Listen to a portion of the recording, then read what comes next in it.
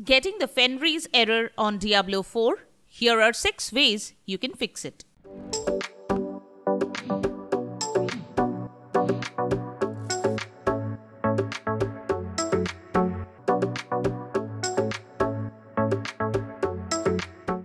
Before we move forward, do us a favor by subscribing to our channel and liking this video.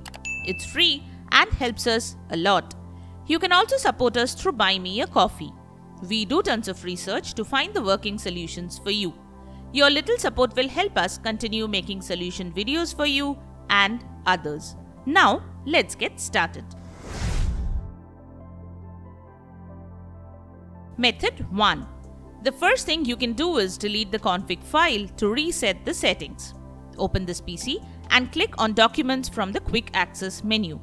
Select the Diablo 4 folder. Here the local prefs.txt file is the config file of the game.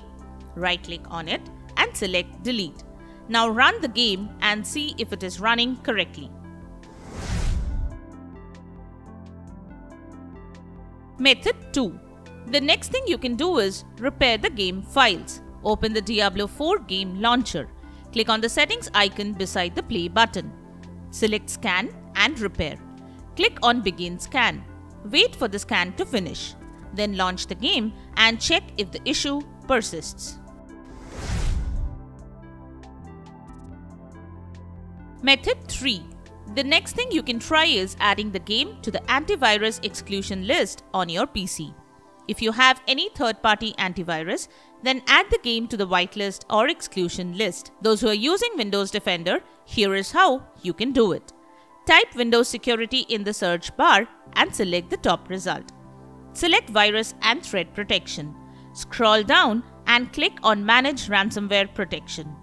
Next, click on Allow an app through controlled folder access and select Yes. Click on Add an allowed app option. Select Browse all apps.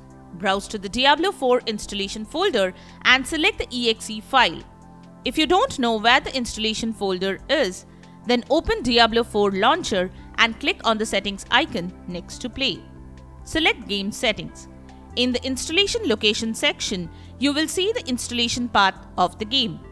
If adding the exe file doesn't fix the issue, then try disabling control folder access toggle and see if that solves the issue. Don't have a solution so far?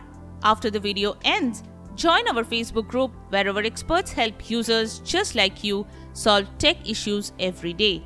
Join the group from the link in the description or the pinned comment and ask for help. We promise to help you out.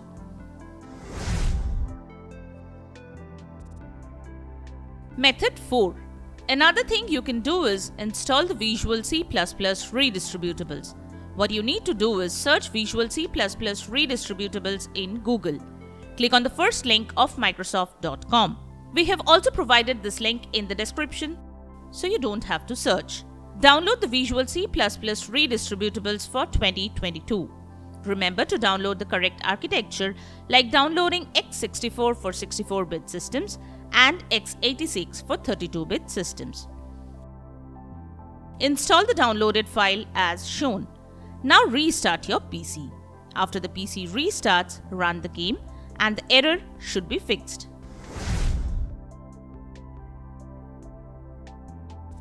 Method 5. The next thing you can try is update your graphics driver. If you're using an NVIDIA graphics card, then you can use GeForce Experience to update the graphics drivers. If you don't have it installed, download and install it from NVIDIA's website first. Run GeForce Experience. After you open the app, click on Drivers and check if any new drivers are available. Download and install it.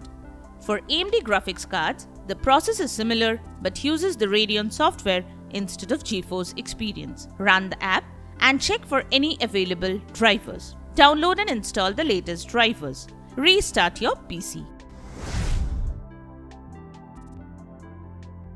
Method 6. The next thing you can try is reinstall the game. Press the Windows plus R keys to open Run. Type appwiz.cpl and press Enter. Right click on Diablo 4 and select Uninstall. Follow the on-screen instructions to complete the process and restart your PC. Reinstall the game and see if that solves the issue. So that's it. Subscribe to our channel and get quick solutions to all your tech issues. Join our Facebook group where you will get direct help on everything tech. Leave a comment and help others know which solution solved your problem. Support our dedicated team of troubleshooters and editors directly through Buy Me a Coffee. Thanks for watching and always remember that we are here to help you out.